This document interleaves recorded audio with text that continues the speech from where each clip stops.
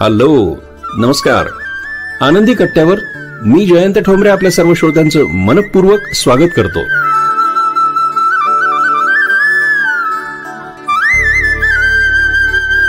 श्रोतो नमस्कार.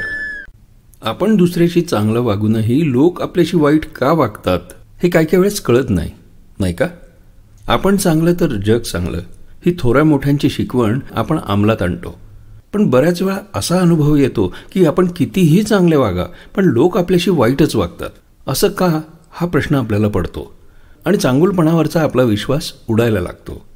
याविषयीच एक छान उत्तर दिलंय एका साधू महाराजांनी. एका गावातला एक तरुण अतिशय साधा भोळा आणि प्रेमळ होता. कोणी कसेही वागो पण त्याने आपला चांगुलपणा कधीच सोडला नव्हता. पण एकदा वेळ अशी येते जेव्हा त्याचा संयमाचा बांध फुटतो आणि आपल्यातल्या स्वतःतल्या चांगुलपणावरही त्याला राग येऊ लागतो. मन व्यवहारी होतं स्वार्थी होतं पण हा बदल सुद्धा त्याला तो सहन होत नाही. कारण चांगलं वागणं हा त्याचा स्थायी भाव असतो. त्या तरुणाच्या बाबतीतही तेच झालं. तो अतिशय अस्वस्थ होता. त्याने गावातल्या एका साधूबाबांकडे जाऊन शंकेचं समाधान विचारलं.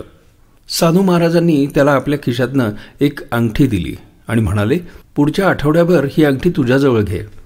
आणि त्याची किंमत किती मिळू शकेल याचा शोध घे. फक्त काही केल्या ही अंगठी विकू नकोस. प्रश्न आणि उत्तर याचा परस्पर काहीही संबंध नसताना साधू महाराजांनी दिलेलं हे काम पाहून तरुण निराश झाला. पण साधू महाराजांनी दिलेलं हे काम त्यानं पूर्ण करायचं ठरवलं. तो एका व्यापाराजवळ गेला. त्याला अंगठी दाखवली. तो त्या अंगठीचे हजार रुपये देईन असं म्हणाला. तो तरुण मुलगा दुसऱ्या व्यापाऱ्याकडे गेला. त्या व्यापाऱ्यानं त्याची दहा हजार बोली लावली. तिथून तो एका सोनाराकडे गेला. सोनाराने अंगठी नीट पाहिली आणि म्हणाला मी याचं एक लाख रुपये देतो पण ही अंगठी मलाच विक. तो तरुण मुलगा गोंधळला. तिथून तो एका जवाहिऱ्याकडे गेला. त्यानं मोल ठरवायला वेळ लावला पण त्याने जे उत्तर दिलं ते ऐकून मात्र तो मुलगा चक्रावूनच गेला. जवाहीर म्हणाला माझी सगळी संपत्ती देऊ केली तरी या अंगठीचं मोल मला फेडता येणार नाही.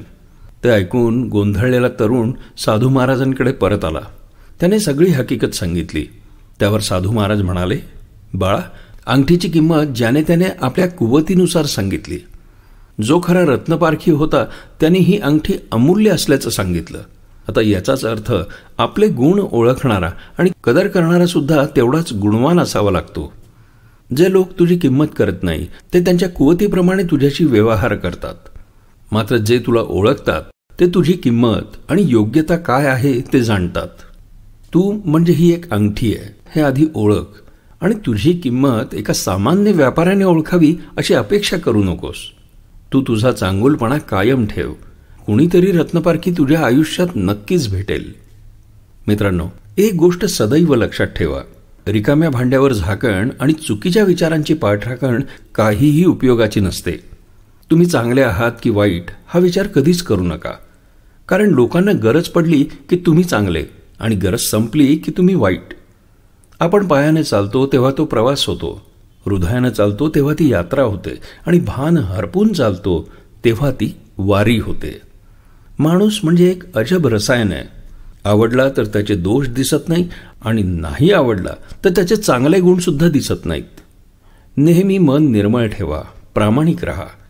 कुणी कितीही फसवलं तरी एक गोष्ट लक्षात ठेवा.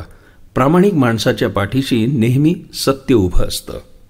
माझं चुकलं हे शब्द समोरच्याच्या काळजाला स्पर्श करतात. परंतु हे शब्द म्हणण्यासाठी सुद्धा सामर्थ्य लागतं.